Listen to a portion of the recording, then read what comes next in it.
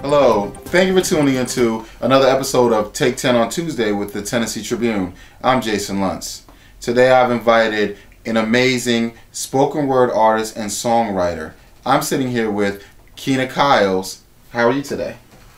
Wonderful. Good. How are you? I'm great. I'm great. And I'm actually very excited um, that I had the opportunity to sit down with you. Um, I've heard a lot about what you're doing, and I thought it'd be very important for our viewers and our readers to see um, and learn more about you. Cool. It's my pleasure to be here, Jason. Thanks for having me. All right, great. Well, we're going to just jump right in. Um, so, you are a songwriter and you're a spoken word artist. And um, it seems that you use your talents to spread important messages. Am I right? Yeah. Yeah, that's very accurate. Very accurate. Okay, great. Now, I first heard about your latest project, which is which is a very important topic, um, and I'm gonna let people know that there might be some language on this episode that you might not like. Um, we're gonna do our best to keep it clean, but um, she's actually worked on a project that's about a very controversial topic in the African American community, and that is the use of the N word. Is that a good way to explain it? That's the perfect way to explain it. All right, well then let's jump in. Um, right. So let us know. Um, you created a song, and it's about the fact that you want us to eliminate the use of that word. yeah, um, I just feel like it's time. It's it's actually overdue. Um, but now more than ever, I think it's important for us to not only you know talk about the N word, but talk about it in its historical context as well as its present context. And it's time for that word to die from my vocabulary. Okay, so how did you um? What made you decide that this was the time and that you wanted to jump right in on this topic? It's almost like the topic chose me. Um, Wow. I was uh, working in uh, Minnesota, and um, I'm in my hotel room, and in the middle of the night, you know, I'm in the bed, ready, you know, to go to bed, and it was just in my head. I could just hear it blasting, you know, hear it blasting, and I actually got up in the middle of the night and I wrote the entire first, you know, stanza and, and the chorus to the song because I was just just so frustrated with um the use of the N word. Um, I had read a couple message boards, um, and anytime it's something controversial, uh, a lot of America, traditional America, they like to say, "Well, you use the word, and they use it, and they do this, and they do that," and it's almost like the, people are using it as justification for their behavior, a justification, you know, for their inability to empathize with our situation. So it just came to me in the middle of the night, um, the whole first verse and stanza. So Oh, that's great. It's funny you said that. Yeah, I've heard that a lot about the justification of actually looking at African Americans as subhuman just because we tend to use a word and then they feel that they can use it. And it does start a lot of it starts a lot of issues. Yeah, definitely. Um, it, I just think it's important. You know, I use my platform or try to use my platform to to encourage people, to build people up, to to speak life into people. And words can scar, words can heal. So I like to just use my platform to to bring awareness to this issue in our community as well as the community at large, the United States and and and even globally, that this isn't a word that's acceptable hmm and we should just it's time for us to get it out of the vocabulary So why do you think um, so many black people tend to use it in their vocabulary? um as far as so many i don't know if that's necessarily an accurate statement um a lot of times the people who are the loudest or the people who have a platform um, are who we tend to notice. Um, that's not a word my parents use. That's not a word my friends used growing up. And I grew up in the inner city of Chicago. Um, the first time that word was really ever used or heard universally for me was through rap music. Yeah. And so because so many people in our community and outside of our community are affected by rap music, I think it maybe skews the belief that that's a word that's just being used prevalently in our Yes. community. Mm-hmm. And so I think too many people use it. That's the whole purpose of the song. And you want people to sing along to your music, but when you use words that don't build your, your yourself up, that don't build your community up, what you're doing is you're reinforcing that that word is okay. And it's hard to be at a concert and expect, you know, a white American to not use that word. Yes. It's it's why why should we even be using that word? Is kind of how I feel about it. And That's the better way to approach it. Yeah. No, you're right, and I do. I've had that debate with people too when they they get upset about other races using it, but then I'm like, but we all listen to hip hop, so if it's part, if you're hearing it all the time, and you got generation of kids now who grew up on it Yep. that are not black, so I definitely understand that. Now, what made you decide to make the song so blatant? Because the N word is used in the song a lot. Yeah.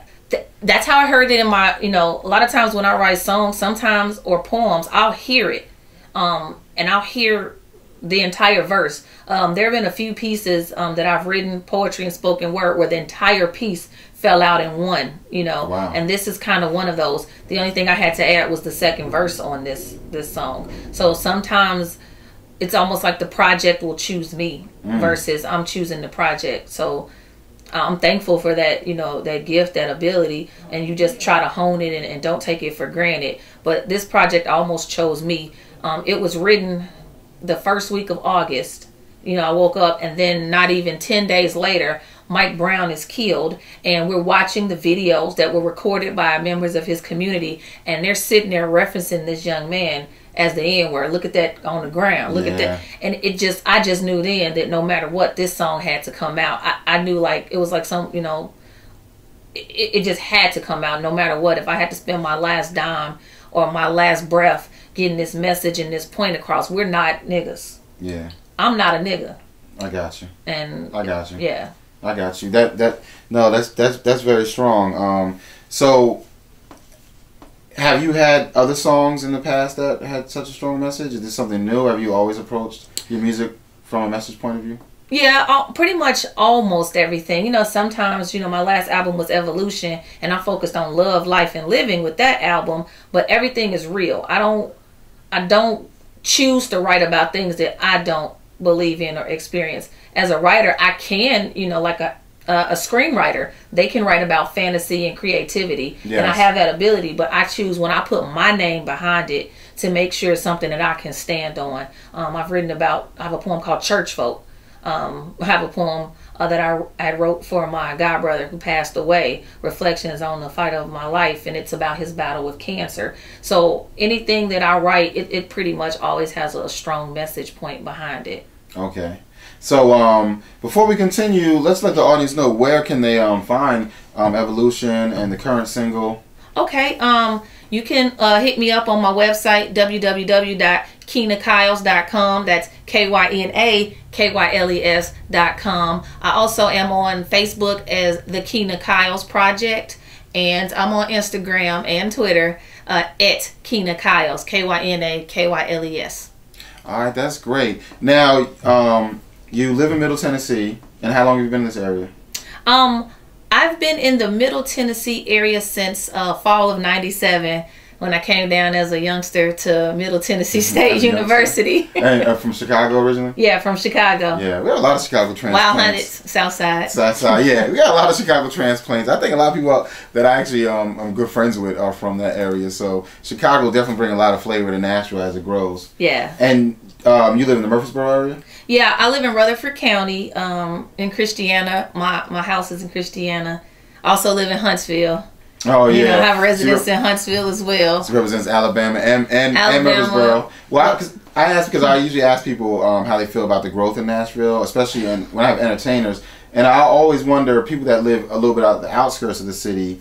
Um, are you feeling the effects out in Murfreesboro that um, of all the energy that's happening in Nashville? Oh my God, absolutely. Um, Nashville to me is the place to be, and I always tell people, um, Middle Tennessee, Nashville. I consider Nashville Metro, and I do consider Rutherford County, Murfreesboro to be a part of Nashville Metro, and that's experiencing such a boom as well as Nashville, and it all is affecting everyone because people work in Nashville, people work in Rutherford County, Williamson County, so in Wilson County as well. So we're all circulating around. So you know you have. Um, of course, a lot of people don't like the traffic that's a result of the explosion and growth. Yeah, but yeah. the good thing is you have people coming from all over the United States and the world coming to this area, and we're all going to blend and together. We can share what Music City is about, you know, with the new people and get them on board with the good things that are already here. And then we get to grow with the things that they can bring. So I think it's a win win. Yeah, I, I I couldn't have said it better myself.